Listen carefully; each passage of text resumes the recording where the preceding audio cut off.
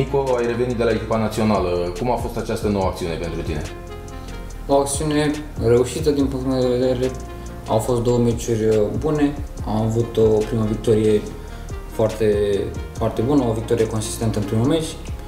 Uh, cred că au fost două jocuri bune și suntem mulțumiți.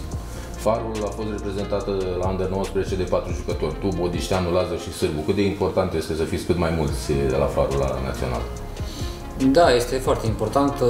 Ne cunoaștem de aici, deja putem să aplicăm anumite automatisme și, și acolo, dacă jucăm. Uh, deja nu e nicio noutate, suntem foarte mulți jucători de la, de la Farul la fiecare generație și nu este nimic uh, nou.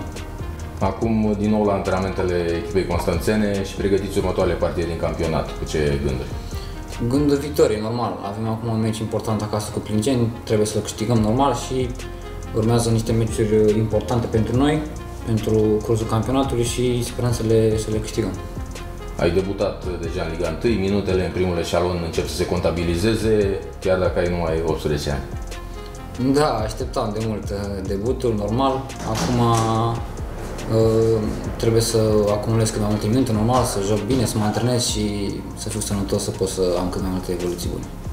Care a fost cel mai plăcut lucru pentru tine în actualul sezon, exceptând debutul Mm, debutul meciul cu Dinamo jucat, uh, normal, fiecare, fiecare meci în care joc uh, este o realizare, să zic așa. Uh, sper să acumulez cât mai multe minute, cum am spus, și să, să mă bucur de, de șansa oferită. Te-a impresionat atmosfera pe stadion, suporterii care vă încurajează meci de meci? Da, normal, a fost o atmosferă incredibilă la meciul cu Dinamo de acasă. Suntem bucuroși că avem și noi uh, suporteri în sfârșit și sperăm să fie alături de noi în număr cât mai mare și la meciurile următoare să ne susțină. Ai vreo superstiție înaintea unui meci sau atunci când pășești pe gazon? Nu, nu, nu, nicio superstiție. Îmi place să mă detașez puțin de, de atmosfera înainte de meci, să ascult muzică, să mă gândesc la ce am, ceea ce am de făcut și când e teren să fiu, uh, să fiu eu. Cine este prima persoană cu care vorbești după fiecare meci? Tata tata, sunt pe el după fiecare meci, când termin și vorbesc cu el prim. După aia, normal, restul și familiei. ce anume îți transmite?